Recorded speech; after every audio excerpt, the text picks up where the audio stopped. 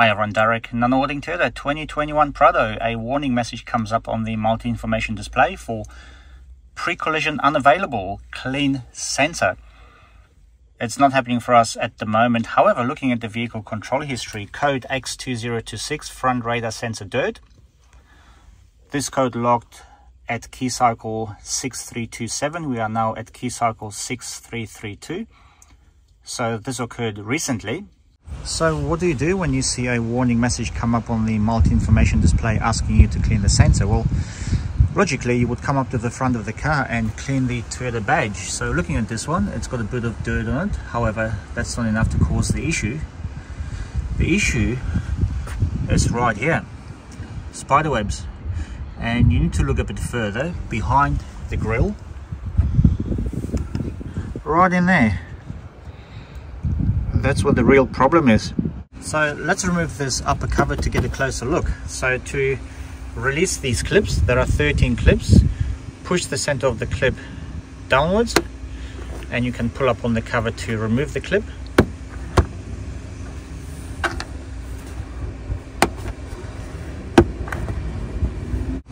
And of course, if you are going to be refitting those clips later on, grab the outside of the clip place it on a hard surface and push downwards so the center portion pops up.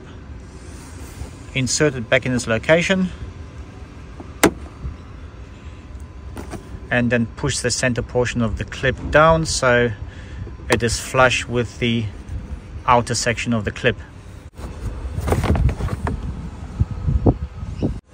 All right so what can we see in there? Goodness me look at that that's probably the worst one I've seen.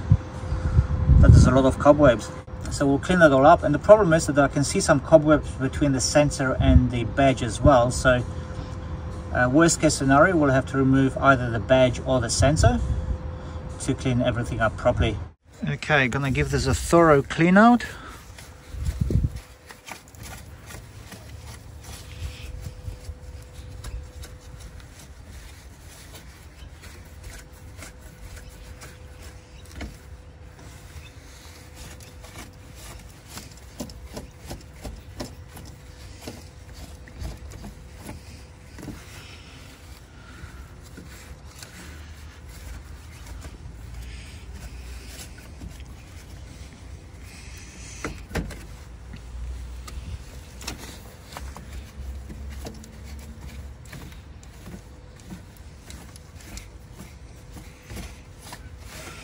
So let me just quickly have a look at what's going to be easier to take out. Is it going to be the badge?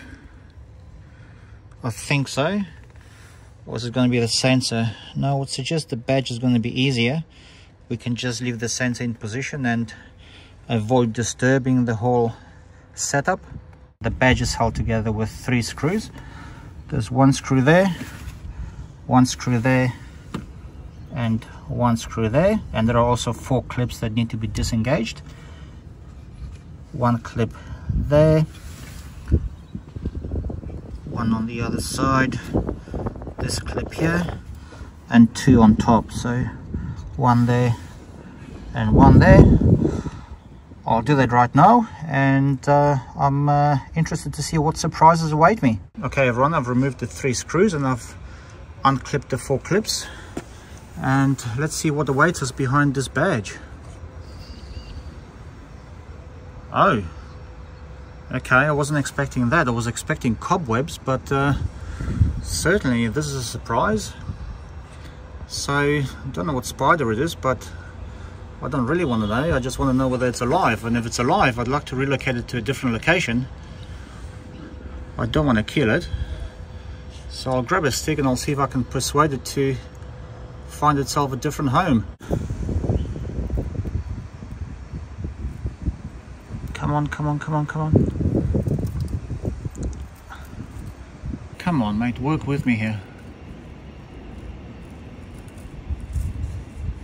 Maybe somebody will know what type of spider it is.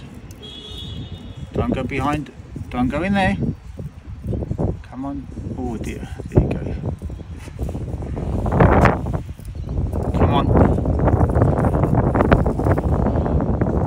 There it is. What is that? Anyone know what spider that is? Oh, it's gotten in there in the crevice. Well, that's okay. As long as it doesn't bite me. I think the job's done. He's agreed to move and find a different location. So what's left now is just to clean up this area and reinstall the badge. One thing I did notice, and that's my mistake, so I do apologize. It's been a while since I've removed one of these badges. The badge is only held in position with one screw, which is that screw there. And obviously the four clips, one, two, three, and four. And this is what the clips look like. So when you go and release them, you've basically just got to push down on this release tab and that will detach the clip from its location. And then the single screw locates into this part of the badge. Grab a wet rag and clean the sensor thoroughly and then reinstall the badge. Obviously also give the badge a bit of a clean if it's dirty and reinstall the upper cover and job's done. Thanks very much for watching everyone.